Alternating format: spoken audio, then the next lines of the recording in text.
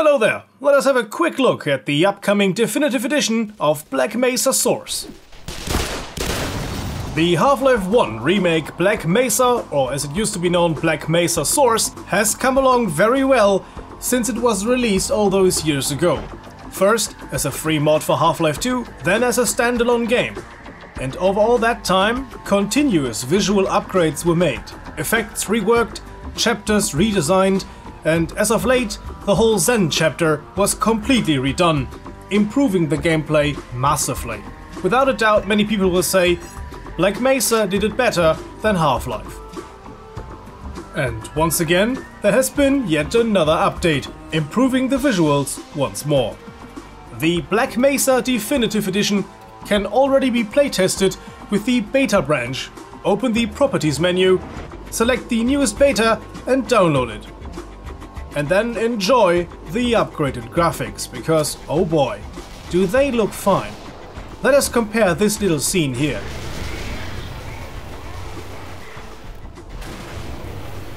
This was already a great improvement from Half-Life 1. But now, look at this.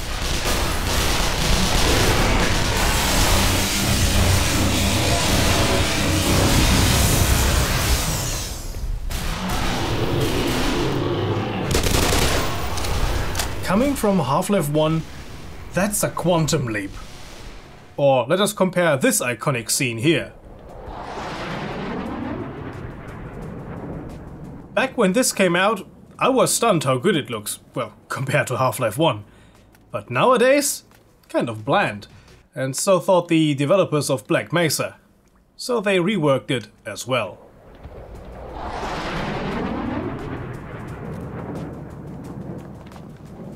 Isn't this just pretty? For the Definitive Edition, a plethora of updates will be introduced. The most visually stunning ones will be found on Power Up, on the rail, we've got hostiles, questionable ethics, surface tension, forget about Freeman, and Interloper. Once again, the dev team has been pushing the Source engine to the limit, bringing most of the game up to a visual standard of the latest updates. When we consider the fact that the game has been in development for so long, yeah, some areas do tend to look a bit dated. And uh, contrasting that with the newer parts, yeah, there were some slight visual differences. But this is pretty much gone now.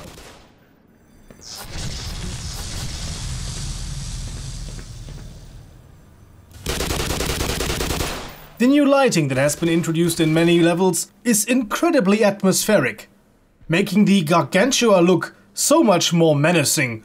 And even simple Vortigaunts, when you see the, the shadows on the walls, them appearing larger than life, even they look menacing and uh, creepy.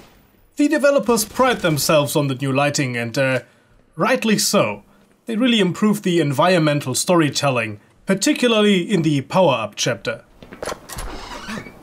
Oh, Jesus.